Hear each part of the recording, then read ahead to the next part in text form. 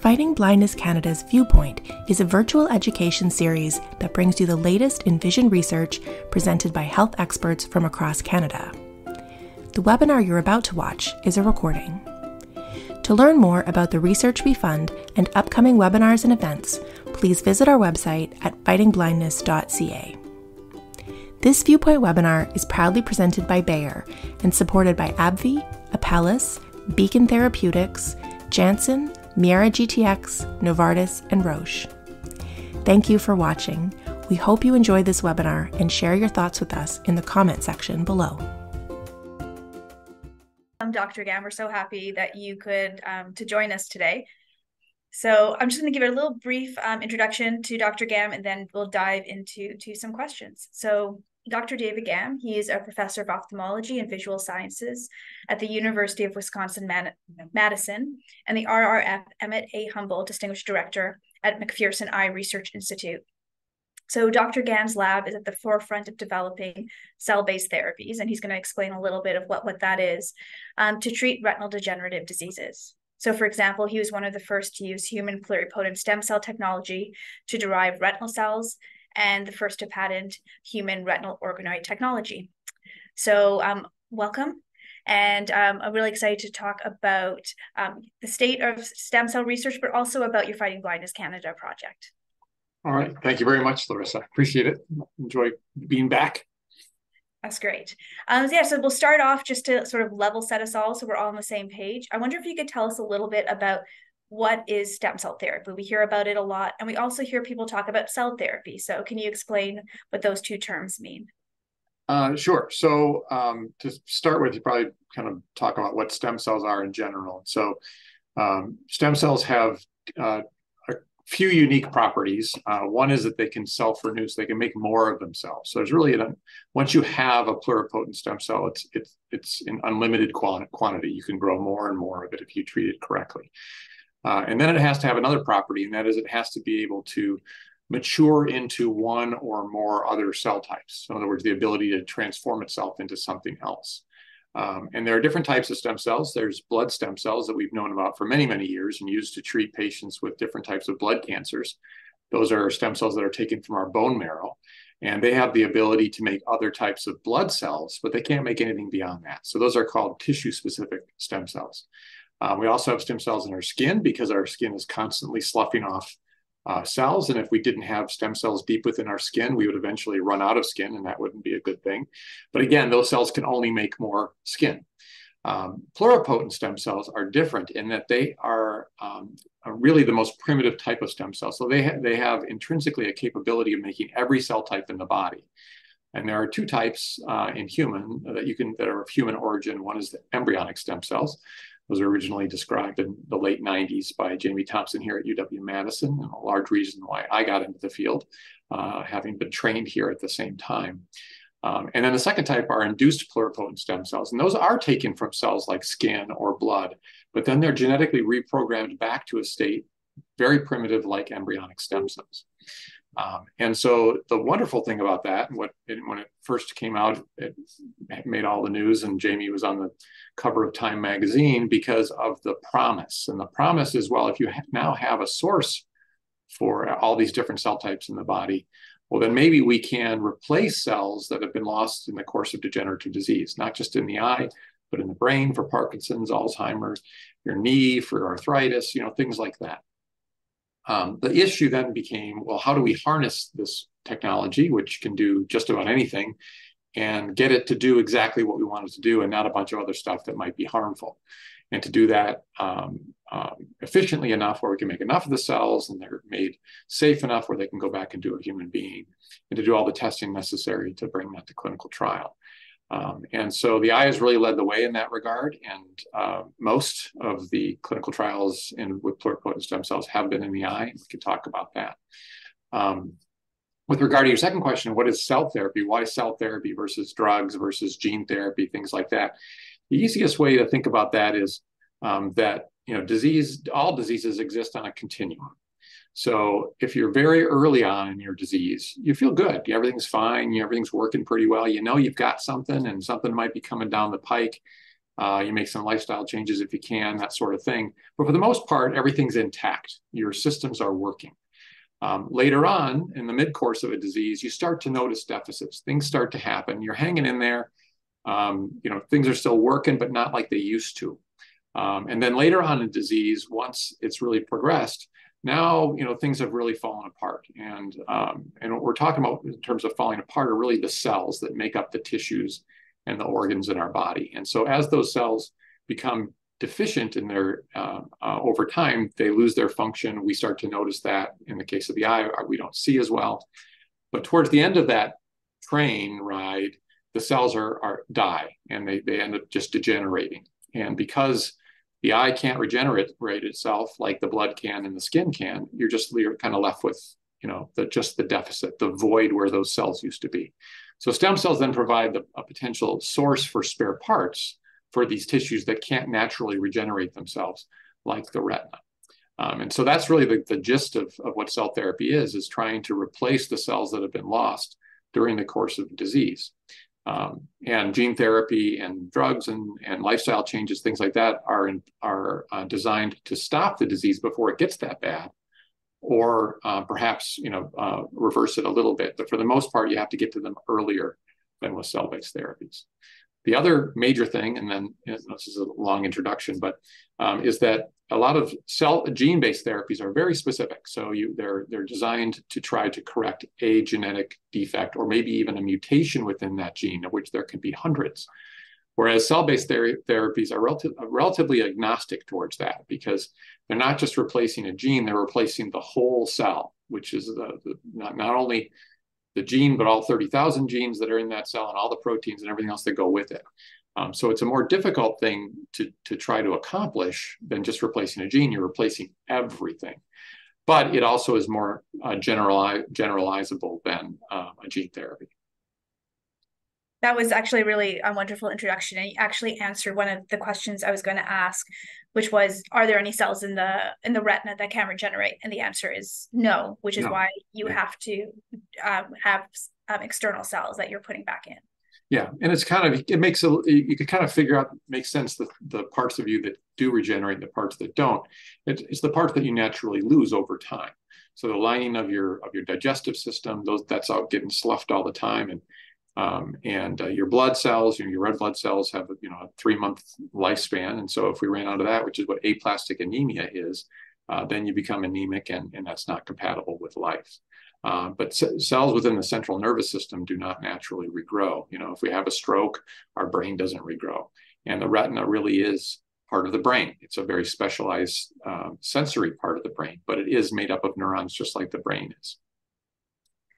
You'd mentioned also that um, some of the earliest work in stem cell therapy is taking place in the eye. So I was wondering if you could talk about some of the clinical trials or some of the potential treatments that are already maybe out there using stem cells. Yeah. So for the most part, I mean, so there are, you know, what we can there's what we can make in a dish, and then there's what we're trying to get to plug into, a, you know, a living human being. So um, there's really to be simply kind of break down cell therapies into two broad categories. There's spare parts manufacture, so the cell manufacturer making the thing you want to get back into a human being, and then installation. How do you get that that part to hook back up in an adult who has a diseased tissue? So it's not even a, a healthy tissue; it's a tissue that's undergone disease over time. And we've really made great strides uh, collectively with regard to the manufacture portion of it, to the point where um, we are able to make um, billions of authentic cell types. So it's really quite amazing. We start with a blood sample that, like you might give for a, a cholesterol check. Any human being on the earth can do it. Um, and we can then reprogram those cells and then generate billions upon billions of, of uh, the cell types that are present within our own human retinas. And they have not only the structure um, necessary to uh, do the job, but they actually can function.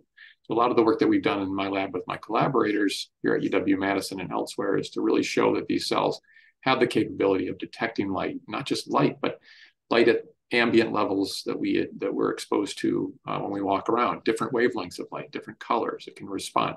Our you know our retinas are amazing uh, machines And uh, trying to replicate that and uh, to a meaningful level is, is not an easy task. And it turns out that these cells can do that.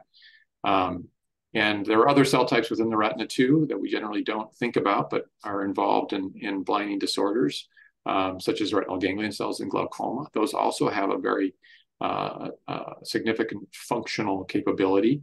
And then retinal pigment epithelium, which is kind of the helper cell for, for photoreceptors. So we can make all of those cells. So it turns out the easiest cell type to make is that retinal pigment epithelial cell, which is a, a sheet of cells that is abuts the photoreceptors in the very back of the eye and helps them to function appropriately. And those cells die primarily in a number of diseases like age-related macular degeneration, Stargardt, Best disease, and then secondarily, you have photoreceptors that die. So ultimately, it's two cells that degenerate in those diseases. But the RPE component of it, the retinal pigment epithelial cell component of it, um, for reasons probably don't want to get into, um, aren't easy to make, but easier than the other cell types. And so the manufacture of that is, is uh, quite advanced. Uh, we make them here and we make them through our company, and a lot of other folks is, uh, do as well. And those have been around long enough where they have progressed to clinical trial. Um, and there have been at least uh, four to five different clinical trials for replacing retinal pigment epithelium in diseases such as age-related macular degeneration. Most of those trials, though, are required to go into patients who are, again, way at the end of that spectrum of disease. So they've not only lost retinal pigment epithelium, but they've also lost the photoreceptors that they subserve. So as you might imagine, just replacing the RPE is going to have a limited upside. Um, what has been shown, though, it's been relatively safe. Uh, the surgical approach to get them into the uh, into the space necessary in the eye has been uh, uh safe as well. Um, so we learned a lot from those from those uh, clinical trials, and we hope to build upon them. Um, but that's really where where we are now. There has we're now kind of on the precipice of looking at the possibility of replacing photoreceptors, which uh, well, we hope will be able to make an, an even more meaningful improvement in people's visual function. So, um, as far as you know, there um, aren't any, haven't been any um, clinical trials with stem cells that have either improved people's sight or that have used photoreceptors. Is that is it that? Well, there have been. Uh, so this gets into some of the, the nitty nitty gritty about clinical trials. So there's different phases of clinical trials. Uh, so phase one trials or phase one slash two A trials are small trials that are designed to show safety. Um, and there has been at least one that's progressed to a 2B, which then starts to get more and more patients, and then it gets the statistics necessary to be able to really determine if, if in fact, people's vision are being improved. Prior to that, all you have are anecdotes. You have individual patients that may improve, and then the next person might not, and that sort of thing. So it's you can't be definitive and say yes, we know it's going to help X percentage of cells or our, our patients until we have enough patients that we can be confident in those numbers. And really, we don't have that yet. And so um, there have been anecdotal evidence uh, in, from various trials that patients have improved their vision. Don't know exactly the, know the mechanism of that. Um, with regard to photoreceptors, there's one, uh, as far as I know, one patient who's been treated in Japan with organoids. They haven't been, they aren't necessarily photoreceptors. They're the whole retina with photoreceptors in it. Um, and one patient, and so they're kind of like balls of cells um, that have all the different cell types that are kind of like a retina with put under the retina. Um, and there was some evidence in the literature to suggest that that may be of some benefit. And I believe one patient has been treated, but there's no data that's been released from that trial as of yet. So, um, so it really is here. The idea of, of replacing those photoreceptors or trying to do that um, there's a, a, a, thousand different ways to go about doing that, and um, there's strengths and limitations to each of those approaches. And so it's just like with RPE cells, it's important for different folks, different groups and companies to be involved in that because everyone has a, a bit of a different recipe, a different approach to doing it, and we don't know going into it what's going to be best. Mm-hmm. Yep. So really promising, but still sort of early days. Of... Definitely. Yeah. This per, perhaps only a single patient in the world has been tra- has been mm-hmm. uh, treated with anything that has a photoreceptor in it. Okay. Um, so sort of switching gears a bit, I was wondering if we could talk a little bit about your Fighting Blindness Canada funded project. So if you could just tell us a little bit about what it is and how it's developed over the past few years. Yes. So, you know, we're we're, we're trying to help um, humans, but along the way, um, we we we're also want to get two birds with one stone or two creatures with one stone. Um, there are also a number of, of dog species that have retinitis pigmentosa, and they also go blind as well. And um, in the process of trying to develop a therapy to try to treat them, we can also use that information to hopefully uh, uh, improve upon therapies for humans as well. And so we have uh, partnered with uh, a group at the University of Pennsylvania, um, a group of veterinarians who are experts in ophthalmology of, of canines. Um, and they uh, uh, have um, certain breeds of dogs that have these, these blinding disorders. And so we're developing, we're taking the uh, techniques that we've developed to generate photoreceptors and um, using now uh, also uh, different types of scaffolds, so biodegradable platforms that we can uh, insert these cells into, um, and then developing ways in which we can um, insert those into the, the space below the retina in these uh, otherwise blind dogs to determine whether uh, we can improve their vision. Um, the one issue on that is that um, we are using human cells. And so uh, just like transplants from one species into another, uh, don't always take, right? So if if if you know that's why we have human organs that we put into humans and not other not other species. So it, it does require a lot of immunosuppression to keep the cells alive, and you know working out those protocols so that we can do that is important. We also have a side project to try to make uh, stem cells directly from canines so that we can do canines into canines. Turns out that's a very difficult proposition because they have uh, much different genetic makeup than us the chromosomes are different, the genes are different. So just we can't just take what we do in humans to make stem cells and just flip it over and apply it directly to other species. Uh, we've been successful in doing that with pig and some other mammals, but canine has been difficult thus far. And that's one of the things we're working on. And so um, there's sort of there's so many different parts to this project. So it's the making the cells, it's trying to get them into um, in this case, the the animal model, which which is a dog animal model. I was wondering if thinking about maybe your research, but even the wider field, what are some of the really big challenges that you're looking to answer or correct for, um, sort of in the next few years with stem cell therapy? Yeah, it really comes down to the the installation portion of it. So we're we're quite good at the manufacture, um, and we have you know a, a, a, an, an industry related project that we have now uh, that is uh, partnered with Fujifilm in Japan and BlueRock in uh, Boston and Bayer, one of your sponsors uh, in Germany. And so it's a very, very powerful group of, of, uh, of, of, companies that have come together specifically for the purpose of trying to bring a photoreceptor cell therapy to clinic.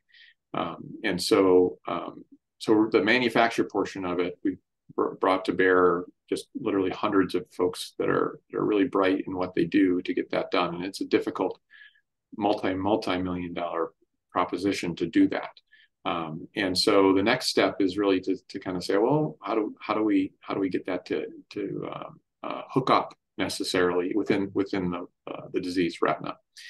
And to that extent, my laboratory has looked at just the intrinsic capability of these cells to do that. So um, do they even have the capacity uh, to um, kind of extend an arm and, and shake a hand with a cell that's already there? And we've shown in the last couple of years or so that that capability is there.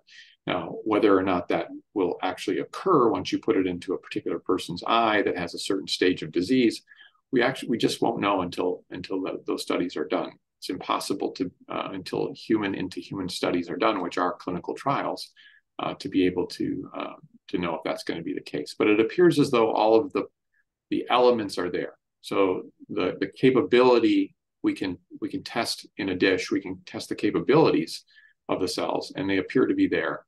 Whether they all come together and do their thing, and to what degree they do that, what you know, what is the efficiency of that process? that is something that we'll learn in the course of, of the early clinical trials.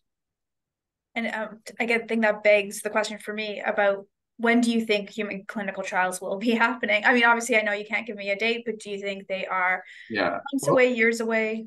Well, like I said, there's already been one patient treated, um, so it's here. Uh, so, it, uh, and that is a is a product that has photoreceptors in it. It's not again not a purified photoreceptor product. Um, the work that we're doing, we hope if everything hits out perfectly, that we'll be uh, dosing patients in the next two two years or so. Um, but um, again, a lot of things have to happen. The FDA have to has to review our multi-thousand page document that will describe what we're doing, what we want to do, how we want to do it, um, you know, all of our safety data.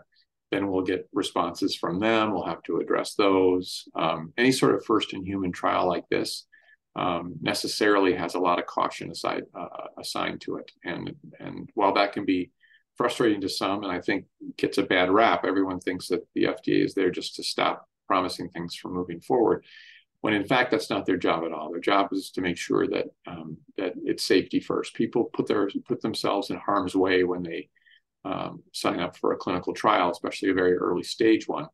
Um, and just no matter where somebody is in the course of their disease, there's always something to lose. Um, even in a completely blind eye, if the eye is still in your skull, uh, then you probably want to keep it there and probably wouldn't want to lose it. Um, and that's a possibility if if things go awry. Um, and if you have a little bit of vision, that little bit of vision is probably very precious to you. It's possible that you could lose that. Um, and so on our side, you know, as scientists and clinicians, we need to do the best we can to stack the deck in the favor of safety, but it's also the FDA's job to make sure that we're doing our job. Um, and so uh, while it's uh, slower than anybody would particularly like, I'm sure, uh, it is a necessary um, uh, uh, pathway to follow because Otherwise, believe me, there would be thousands of stem cell therapies out there harming people left and right. And there have already been um, many, many uh, um, groups and organizations that have, um, you know, under the guise of a stem cell therapy, um, put things together that uh, aren't necessarily illegal, but um, certainly have uh, are designed to just basically uh, uh, make a profit at the expense of uh, well-meaning but desperate people. I think that's a, a really important message about um, the role that some of these regulatory bodies take, and also why it takes so long to get uh, uh, a sort of a discovery from the lab all the way to to the clinic. There's um, a lot of experiments that have to happen, but there's also a lot of safety that people have to make sure is is um, taking place as well. Yeah, and and partnership and funding. So. Mm-hmm. Um, that's the other aspect of it too. You can have a great idea, can look, can show promise, but really going from the laboratory to something that is um, uh, able to go into a patient, that's what we call you know that valley of death, and that can co- cost you know ten plus million dollars uh, at minimum to do that. And so um, you know obtaining that sort of the data necessary to convince somebody to put that sort of an investment into a project uh, takes time. So, sort of thinking about um, your project, um, maybe going back to the lab a bit, because I know you're moving forward work um, with the FDA, but um, is there exciting stuff happening it, sort of in the lab based work that you're also really excited about? Yeah, well, so most of what I do um, is in the lab. So I'm involved in the in the company that we helped start uh, that's interested in doing these types of cell therapies.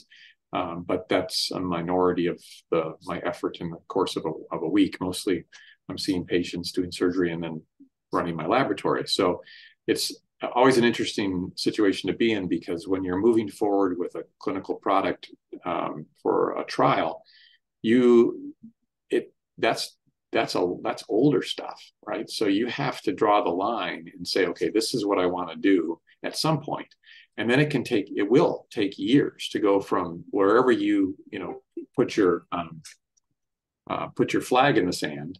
It'll take years from there to to uh, get to clinical trial. Well, in the meantime, I'm not twiddling my thumbs. You know, we've got a we've got a, a, a large lab here, and and we're trying to make it all better.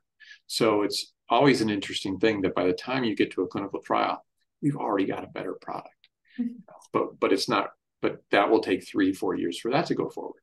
And you know, everyone's going to wait and see what happens with the first one. And if it's promising, we hopefully will be able to move fairly quickly on the next iteration of the product um, or the approach or the surgical device that we use to implant this um, the, the, the product or all of all all of the above or the types of patients that we want to focus on focus on that we think would have a better chance of of benefiting from the product. So we're constantly learning but you can't constantly in real time update your product that you're going to uh, do a clinical trial with because that requires millions and millions of dollars of testing and if you change it even a little bit you have to repeat those millions of dollars of testing.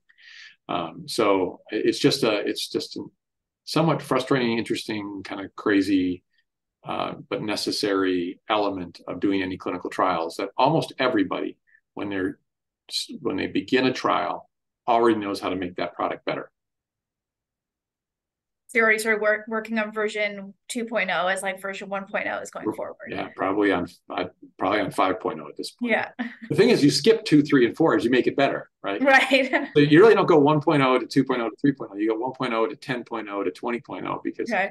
uh, you're learning as you go, and it, and it is a, and it is a long road road to hoe. Mm-hmm.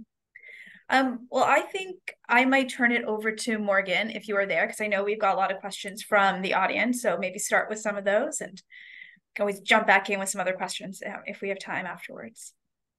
All right, sounds good. Yes, I see the Q&A is very busy here. So we'll start with some of these. I'm going to have a read through. Um, but yeah, so let's start here. So um, we have a question from Sylvie who's asking if the nerve was damaged due to too much pressure due to CRVO, would the optic nerve um, benefit from a stem cell treatment?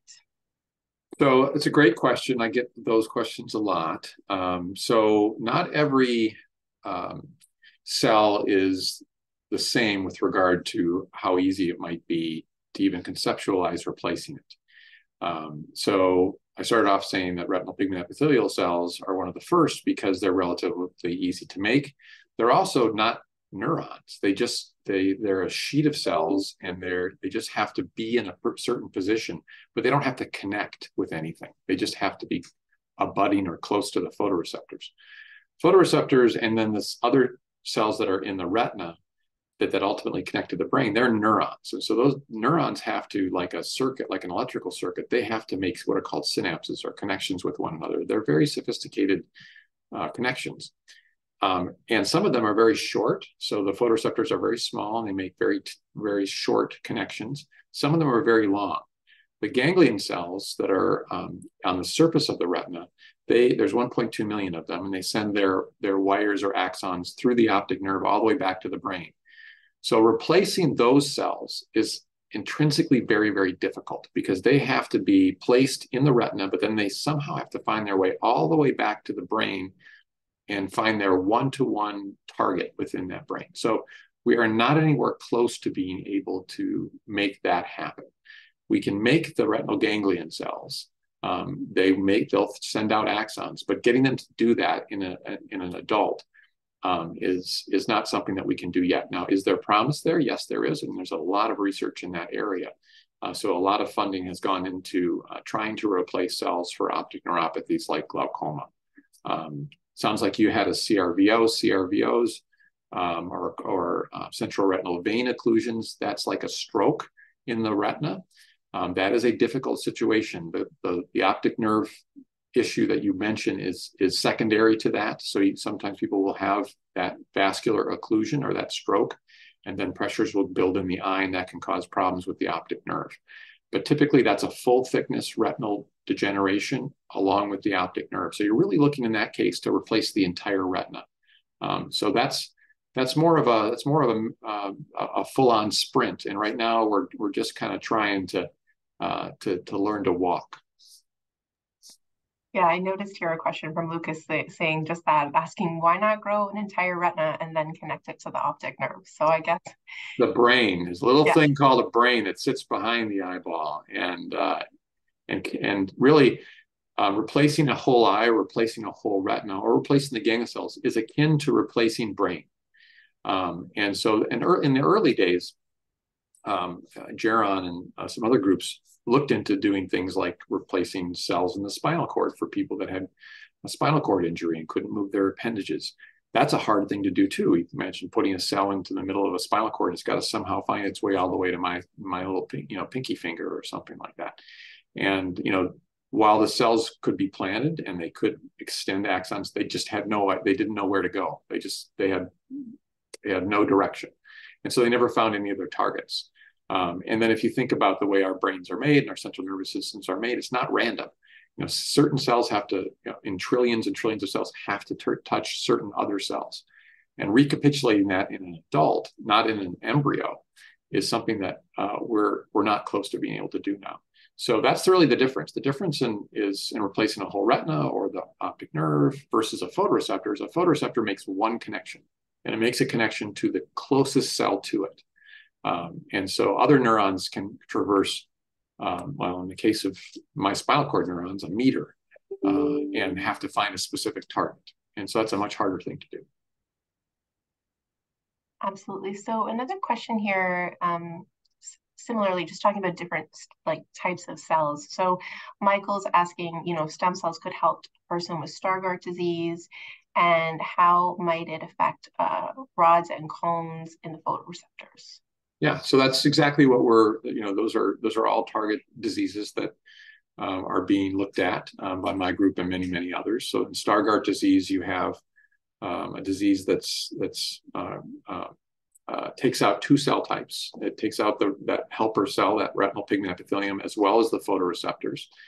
It's more um, focused. It's focused in the center of the retina, called the macula, which is a uh, has the highest density of cones.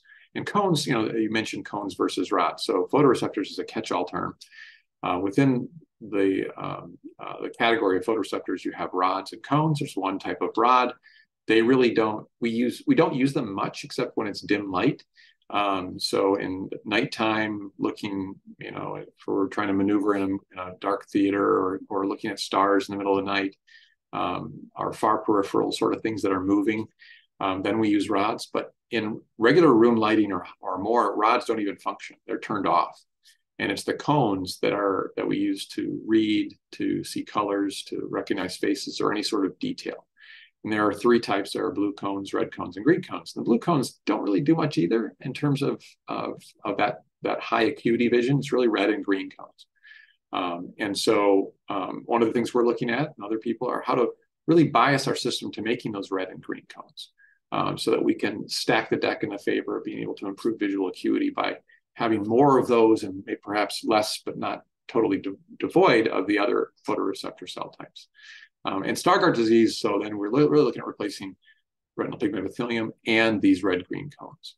Um, and uh, so other diseases, if you get to them earlier, it's the rods that die first. And maybe we do want to replace those rods and keep the cones that the patient has alive longer so that they can maintain their, their central vision and not lose it.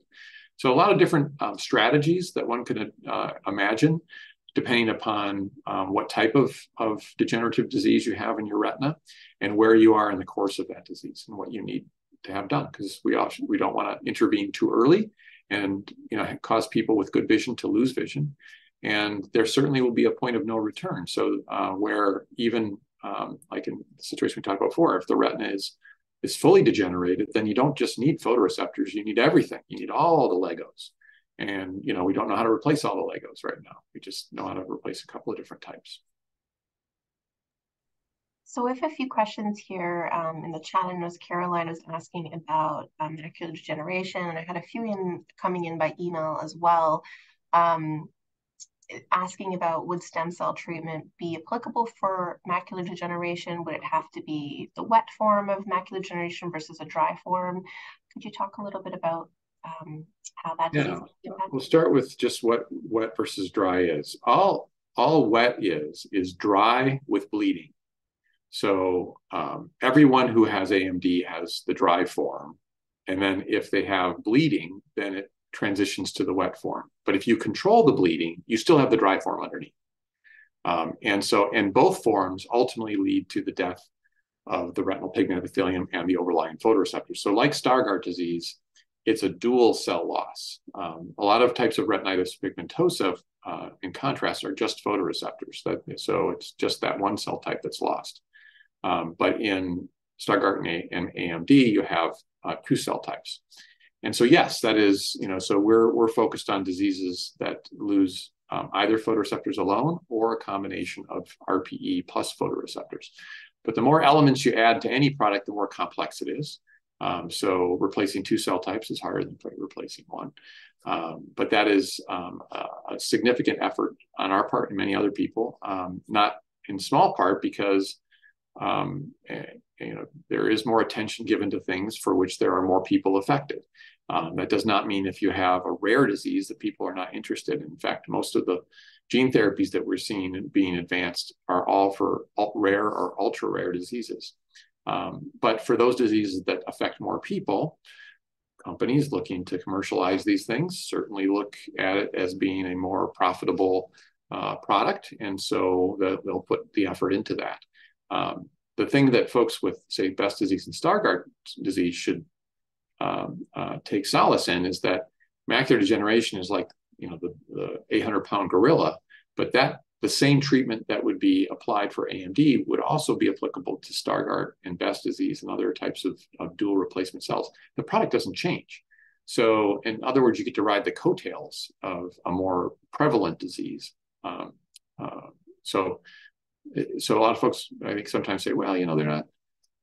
I don't. I don't hear a lot going on about what my particular disease. Um, and what you have to understand is with cell therapies, at least, they're kind of agnostic. So if the underlying um, cause of blindness is loss of photoreceptors, well, that doesn't matter if it's retinal detachments, doesn't matter if it's retinitis pigmentosa from CRX mutations or NRL mutations or whatever mutation it is. And if it's a combination of the two cell types, doesn't matter if it's AMD or Stargardt or Best disease or or anything else. It's this, you know, the, the therapy is the same. Um, so everybody presumably would benefit. Yeah, I think that's that's great, and I think that answers a lot of questions. Like, you know, we have a lot of questions asking, "Well, I have this eye disease, I have that eye disease. Would this this work for me eventually?" Um, I, I know you already touched on this a little bit when you and Larissa were talking um, about it, but I'm wondering if you have any more comments just around um, the amount of time. I often, you know, hear from people through our health information line, and I'm seeing it in the questions today that people feel that you know research goes so slow, and it's frustrating that there are not more treatments available. Um, someone here in the chat's talking about, you know, how fast COVID-19 vaccines, for instance, got approved. Um, I'm just wondering if you could comment a little bit more on, you know, that that process, why it's different for these types of treatments, and you know why that process is so important. Well, with regard to the vaccinations, vaccines have been around for a very long time. Um, so they, they vaccines weren't invented, uh, you know, a couple of years ago. So the the whereas a lot of things we're talking about now have never been done before. Um, and so, you know, it's it's not the same to say, well, we can just throw more money at it, more time and attention. If I said I if I was able to put a trillion dollars into landing on Neptune, I still couldn't do it in a year. I could take every penny in the entire world, and I'm still not going to be able to get to Neptune in uh, in one year, right? There's just we just sometimes there's just we don't have the knowledge. I mean, why don't we? Why haven't we cured cancer? Why haven't those? A lot of times it's just we lack knowledge in certain areas, and so we're working towards that. And once you gain them, then it's much easier to apply it a second time or a third time right? The very first car probably took forever to make, and now we can make them like that just because we have that experience over time. So we really are looking at doing things that have never, ever been done before. Um, so that's one explanation. And some things are harder than others. I mean, in some respects, we are doing stem cell therapies. I mean, patients are being treated for them, and, and in you know a lot of times. Um, not in legitimate ways, like I said before, the snake oil portion of it, but in legitimate clinical trials as well. Um, and so the process is slow, but I can tell you that um, uh, if that if that process wasn't in place, so much harm would be would be done to people, right? You would have forever for you you want that thing so bad, but I can tell you there are unscrupulous people and people who don't know what they're doing, who would rush to treat you, would harm you, and then would put the whole field back decades. Right? That has happened before where we rushed, when we rushed to get gene therapy in initially, we didn't understand how it really worked. And the first, some of the first patients ended up getting um, a type of leukemia and died. That stopped gene therapy trials for over a decade, right? So you make one misstep in, in these sort of things, and then every the whole thing comes to a screeching halt. And not everybody has the same motivations than uh, as others. And so, how would you know if you had there was no regulation whatsoever, and nobody was looking to see whether or not it was even worth trying. Right? Just just throwing stuff against the wall and seeing it sticks is fine if it's if it's um, you know uh, uh, some dime store product and you just throw it away afterwards. If it's your eye or your brain or your your loved one's liver or heart, then we can't be so cavalier.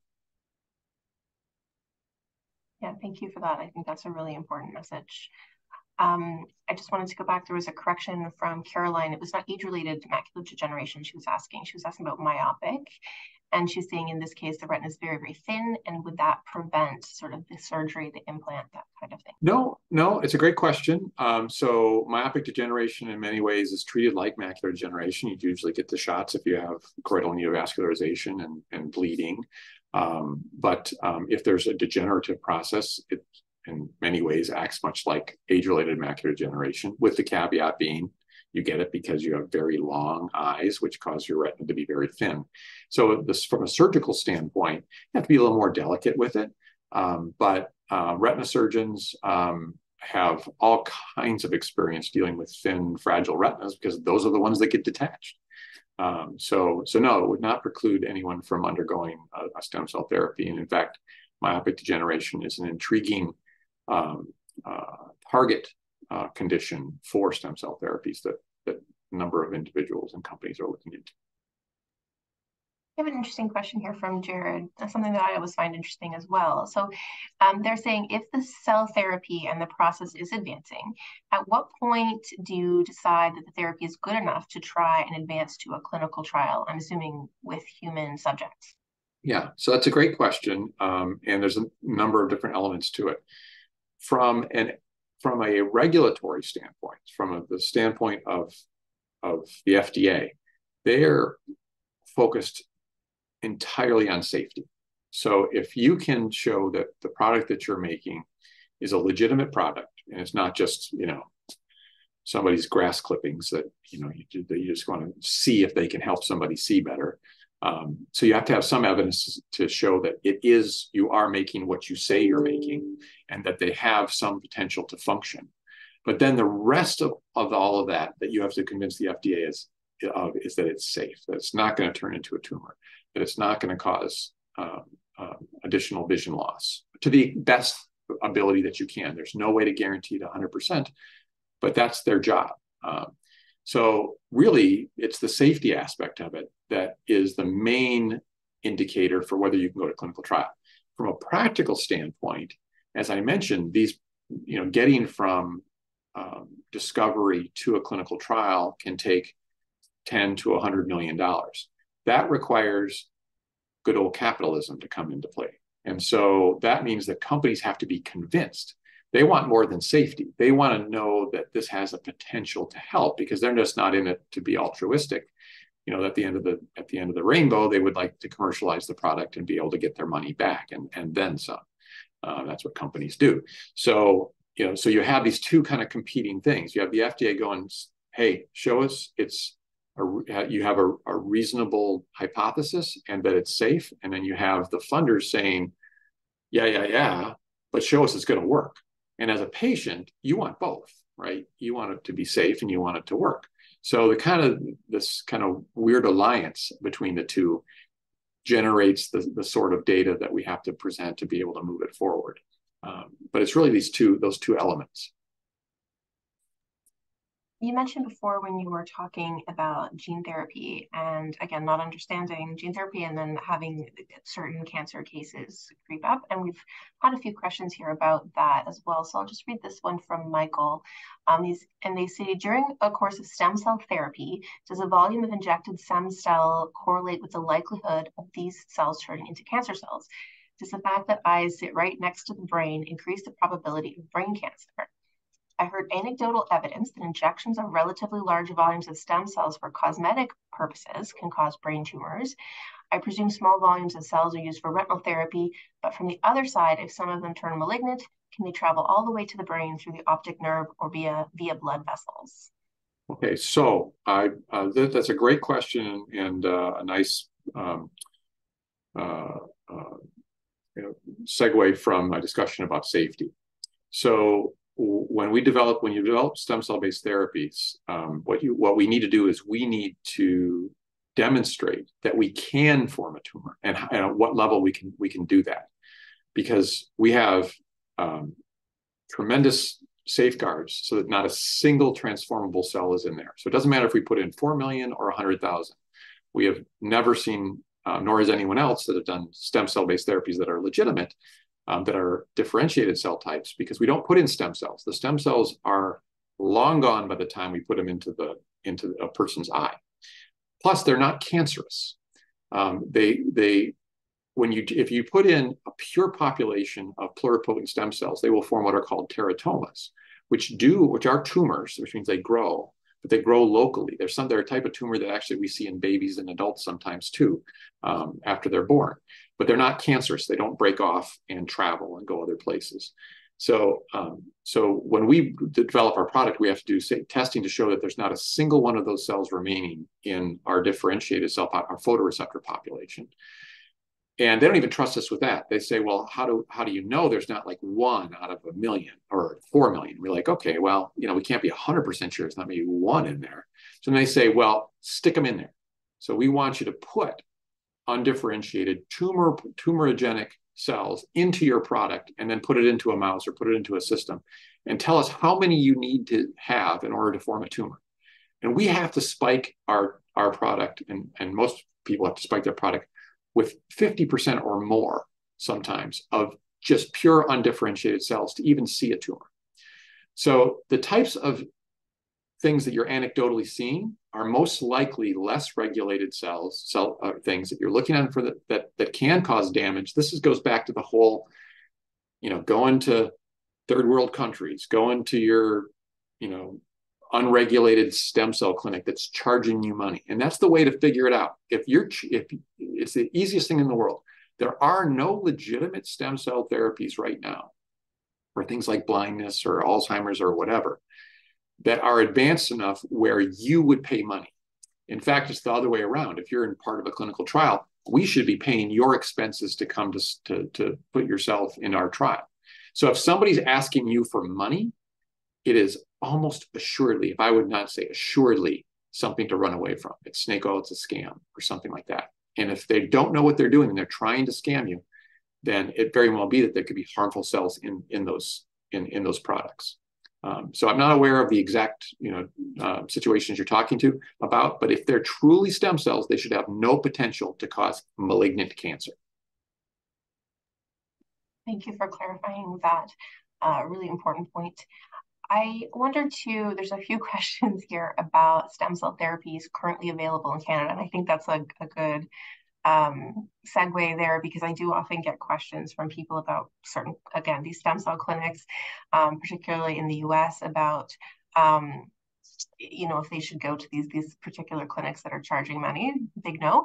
Um, and so no, think about it. They have a they have a conflict of interest, right? Oh yeah. They're hanging they're hanging a shingle, and they're going to tell you anything. And we're all smart people, right? But why do we believe people when they say, "Hey, I've got a thing that I can just take out of your bone or your fat or whatever and stick it back in, it's going to cure everything. It's going to cure your blindness. It's going to make you run a marathon. You're going to be smarter. You're going to, you know, and for some reason, you know, we we'll, question somebody who sells us a car that looks like it's got the odometer rolled back a little bit, but we'll just swallow this stuff hook, line, and sinker.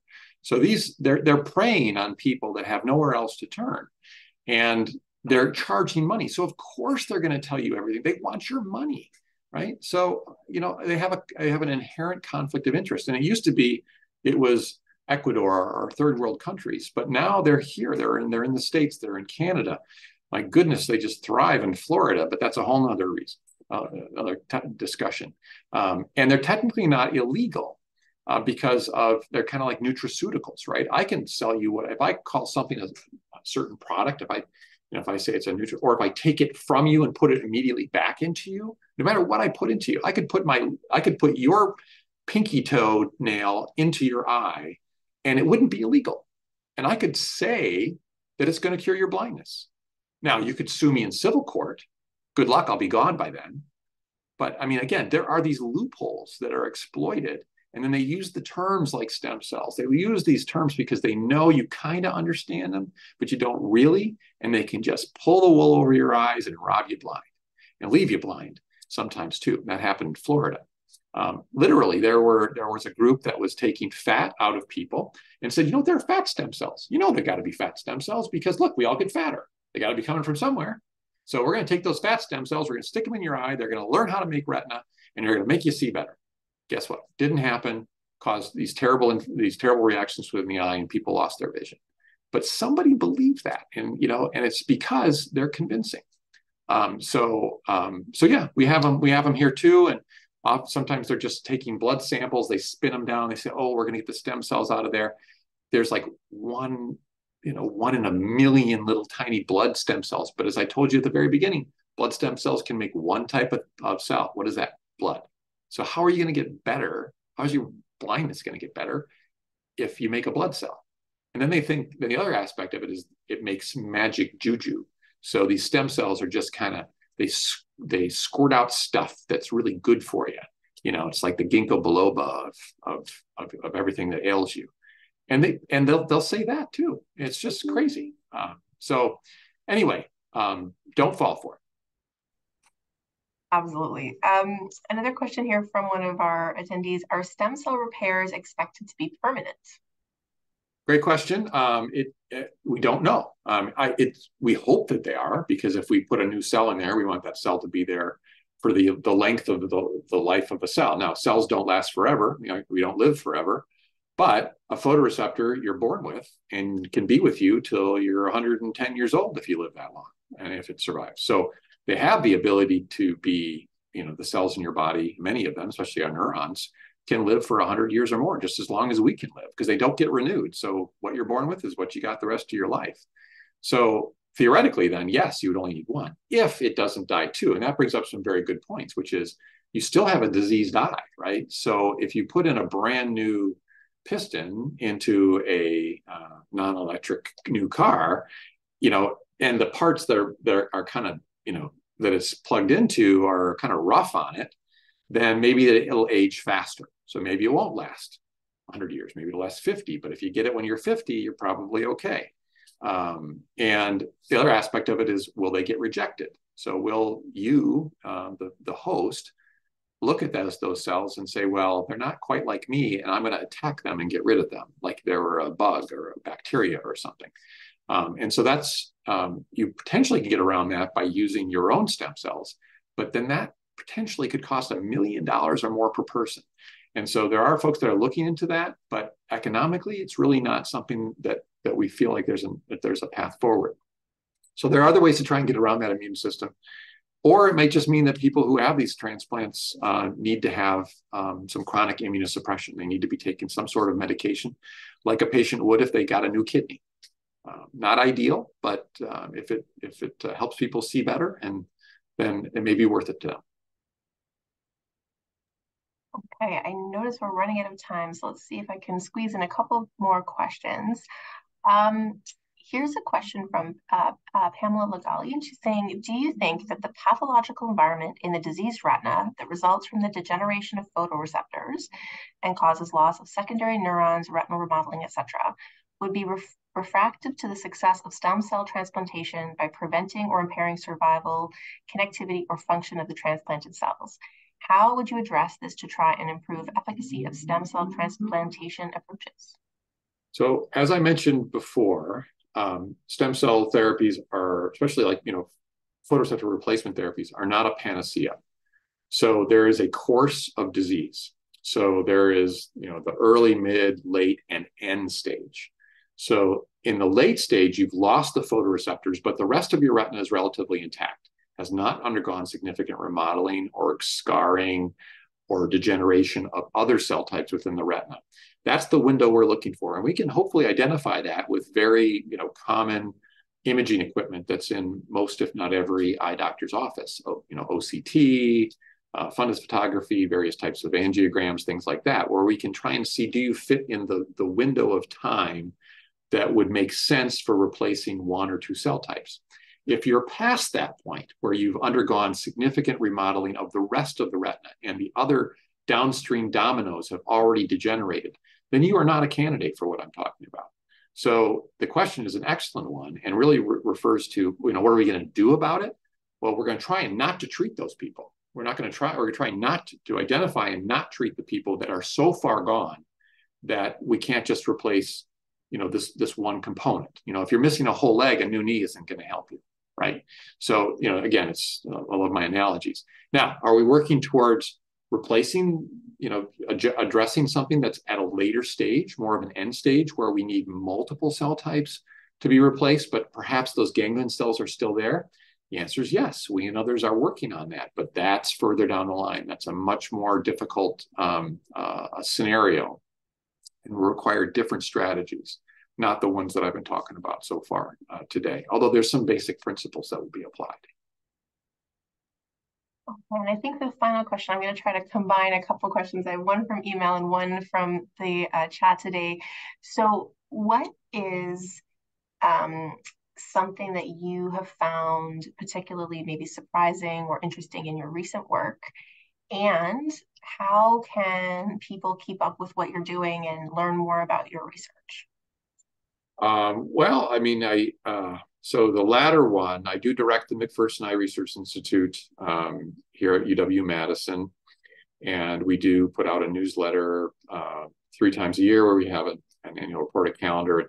That does that's not my lab specifically. It's it's all of the vision researchers here at UW Madison and across the state of Wisconsin, of which I'm very proud of all of them. Um, and so um, there is there is a way to um, if you contact the McPherson Eye Research Institute, you can be put on that mailing list. There's no obligation. We do it digitally, so there's you know no stamps that sort of thing. So so that is a way to stay on top of what what I'm doing. I um, I also um, I'm very proud and fortunate to be involved in organizations like Fighting Blindness Canada and and also um, other organizations, foundations um, around the world that are interested in um, uh, cell-based therapies and treatments for blinding disorders.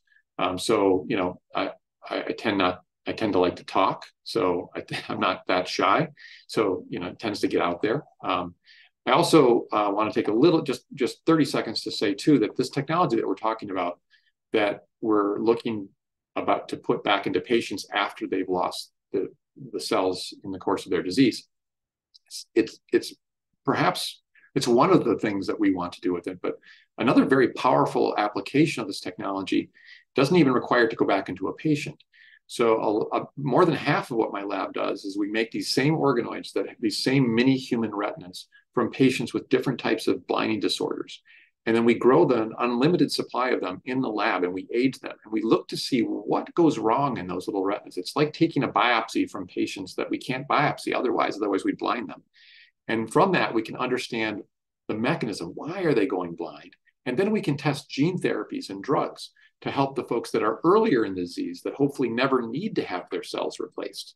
So I want to emphasize the fact that the technology really spans the entire spectrum of, of blinding disorders. And it's really a, a wonderful field. And I'm very fortunate to be in it and to be supported in doing it because I, you know, I, I feel like yes, I want to have things for people that have that are beyond the point of gene therapy or preservation. But boy, wouldn't it be nice not to ever get there? Um, and we have the capability of doing that using model systems um, derived from human pluripotent stem cells.